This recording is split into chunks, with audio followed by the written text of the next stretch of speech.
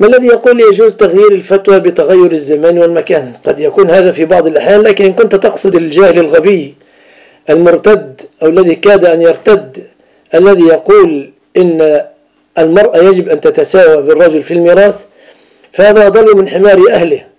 هذا القائل بأن المرأة تتساوى مع الرجل في الميراث أقول أضل من حمار أهله ويجب أن يستتاب من هذه الردة.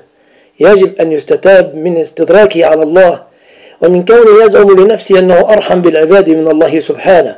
إن الله قال وهو أصدق القائلين يوصيكم الله في أولادكم للذكر مثل حظ الأنثيين. ويقول في كتابه الكريم وليس الذكر كالأنثى ولا قول بعد قول الله سبحانه.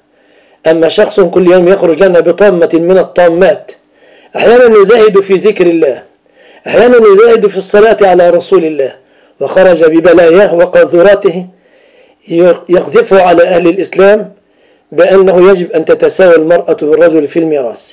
فمثله لابد أن يقدم إلى محكمة تقضي فيه إما أن يستتاب وإما أن يقام عليه الحد الذي يستحقه من كتاب الله ومن سنة رسول الله صلى الله عليه وعلى آله وسلم.